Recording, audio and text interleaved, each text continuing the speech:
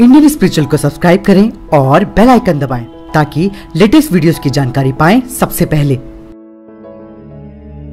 बारह प्रमुख ज्योतिर्लिंगों में से भगवान भीमशंकर का छठा स्थान है। यह ज्योतिर्लिंग महाराष्ट्र के पुणे से लगभग 110 किलोमीटर दूर सहाद्री नामक पर्वत पर स्थित है। भीमशंकर ज्योतिर्लिंग को मोटेश्वर महादेव के नाम से भी जाना जाता है। ऐसी मान्यता है कि इस ज्योतिर्लिंग के दर्शन करने से व्यक्ति के सारे पाप नष्ट हो जाते हैं। ये मंदिर अत्यंत पुराना और कलात्मक है। भीमाशंकर मंदिर नागर शैली की वास्तुकला से बनी एक प्राचीन और नई संरचना का सम्मिश्रण है। भीमाशंकर मंदिर के पास कमलजा मंदिर है। कमलजा पार्वती जी का अवतार है। इस मंदिर में श्रद्धालुओं की भीड़ लगती है। मंदिर के पीछे दो कुंड भी हैं। अनेक धर्म ग्रंथों में इस ज्योतिर्लिंग का वर्णन मिलता है और यहीं से भीमा नदी भी निकलती है। ये दक्षिण पश्चिम दिशा में बहती हुई रायचूर ज़िले के कृष्णा नदी में जाकर मिलती है। महाशिवरात्रि या प्रत्येक माह में आने वाली शिवरात्रि में यहाँ पहुँचने के लिए विशेष बसों का प्रबंध किया जाता है। दोस्तों, अब आपको बता दें कि भीमा शंकर ज्योतिर्लिंग की आखिर मान्यता क्या है। जो भक्त श्रद्धा से इस मंदिर में प्रतिदिन सुबह सूर्य निकलने के बाद दर्शन करता है, उसके सात जन्मों के पाप दूर हो जाते हैं। उसके लिए स्वर्ग के मार्ग खुल जाते हैं। इस मंदिर को लेकर एक पौराणिक कथा भी है। शिव पुराण के अनुसार पूर्व काल में भीम नाम का एक बलवान राक्षस था।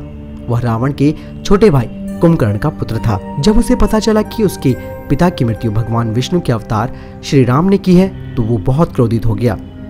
विष्णु को पीड़ा देने के उद्देश्य से उसने ब्रह्मा को तप कर प्रसन्न कर लिया। ब्रह्मा से वरदान पाकर वह राक्षस बहुत शक्तिशाली हो गया और उसने इंद्र आदि देवताओं को भी हरा दिया। इसके बाद उसने पृथ्वी को जीतना आरंभ किया।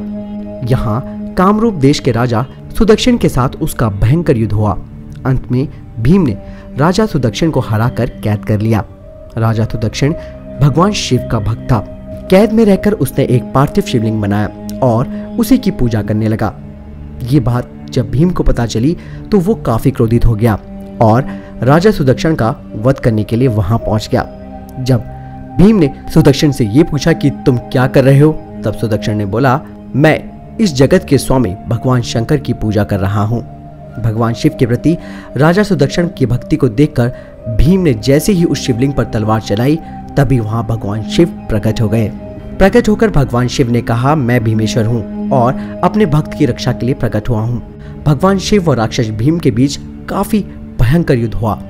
अंत में अपनी हुंकार मात्र से भगवान शिव ने भीम तथा अन्य राक्षसों को भस्म कर दिया। तब देवताओं और ऋषि मुनियों ने भगवान शिव से प्रार्थना की कि आप इस स्थान पर सदा के लिए निवास करें। इस प्रकार सभी की प्रार्थना सुनकर भगवान शिव उस स्थान पर भीमा शंकर ज्योतिर्लिंग के रूप में स्थिर हो गए। दोस्तों, अब आपको बता देते हैं कि इस ज्योतिर्लिंग में आपको किस समय पर जाना चाहिए। यदि आपको भीमा शंकर मंदिर की यात्रा करनी है तो अगस्त और फरवरी के महीने के बीच में जाएँ। वैसे आप ग्रीष्म ऋतु को छोड़कर किसी भी समय यहाँ आ जा सकते हैं। और रुकना कहाँ है, वो भी चलिए आपको बता देते हैं। यहाँ आने वाले श्रद्धालुओं को कम से कम तीन दिन ज़रूर रुकना होता है।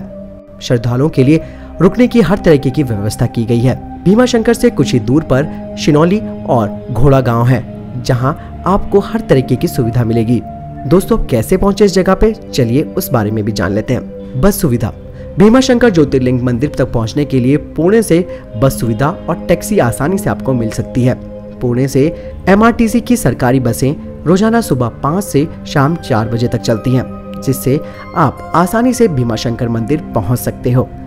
महाशिवरात्रि या प्रत्येक माह में आने वाली शिवरात्रि को यहाँ पहुँचने के लिए विशेष बसों का भी प्रबंधन किया जाता है। जो यात्री रेल मार्ग से आना चाहते हैं, वे मंदिर के सबसे पास वाले रेलवे स्टेशन यानी कि पुणे में आ सकते हैं। पुणे से भीमाशंकर के लिए बस और टैक्सियाँ भी उपलब्ध है। अगर आप वायु मार्ग से आना चाहते हैं तो पुणे का हवाई अड्डा बेहतर है। इस अद्भुत ज्योतिर्लिंग के दर्शन मात्र से आपके सारे पाप कर सकते हैं और आपकी आर्थिक समृद्धि हो सकती है। इसलिए भगवान शिव के इस मंदिर का दर्शन अपने जीवन में ज़रूर करें। इस वीडियो के बारे में आपकी क्या राय है, ज़रूर हमें कमेंट बॉक्स में लिख के बताएँ। साथ ही दोस्तों, वीडियो को लाइक करना न भूलें चैनल को सब्सक्राइब करें। धन्यवाद।